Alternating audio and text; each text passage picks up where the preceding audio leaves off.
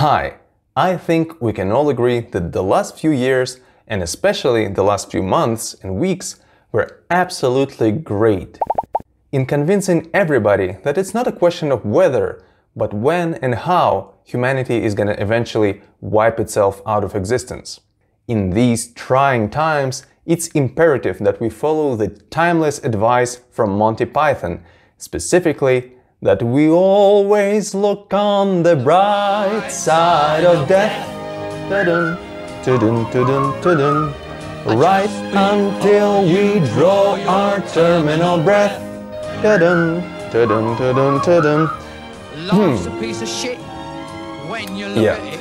So, anyways, a laugh, a death's a joke. So what you may ask is the bright side of the potential nuclear war? Well, you see, there is one. Until recently, much of post-apocalyptic science fiction had been kind of losing its zest and bite as the looming threat of self-annihilation of the human race kind of surrendered its dominant place in our collective consciousness. Now, however, thanks to Mr. Putin, we can appreciate those works anew with full immersion just as if we were to time travel to the heyday of the Cold War. I want to share a few of my favorite works in the genre.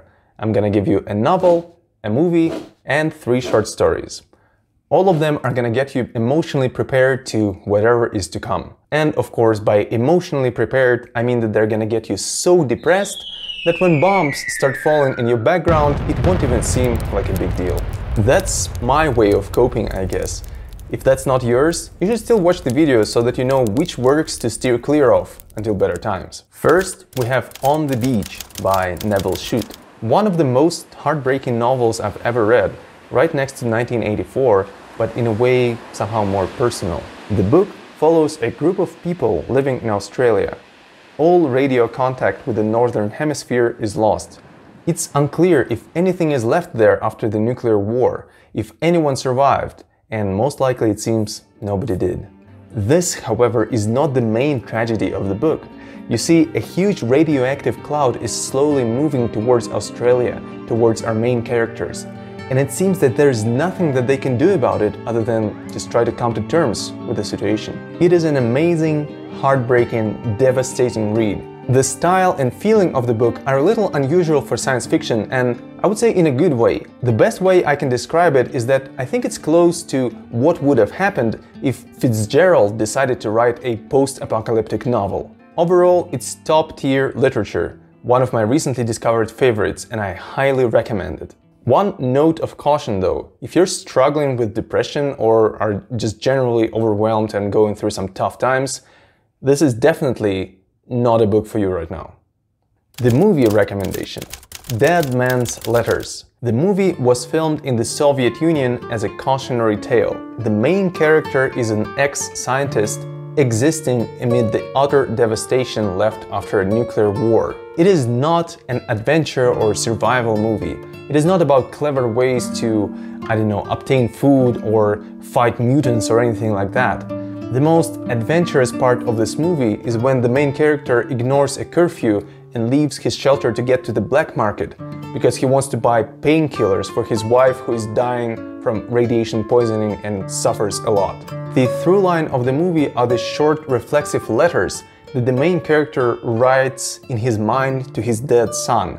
And yet the man in the dead man's letters refers to humanity overall and not to any specific person. It's a devastating, heart-wrenching movie about grief.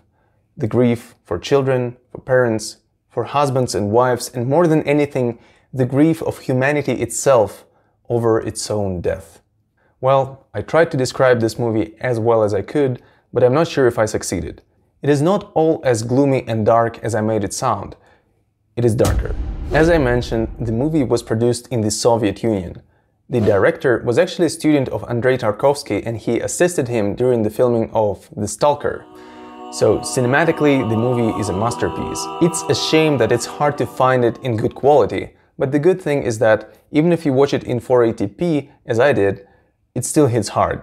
And just to clarify, it's an obscure, almost like an art house movie, but I think if you're mostly familiar with the typical Western media, it's even more reason to give something strange and unusual like that a shot. Because otherwise, if we always watch the same stuff running from the same mill, how are we ever gonna produce anything original, even an original thought, let alone a movie or a book? Short stories. I have three for you, and all by Philip K. Dick.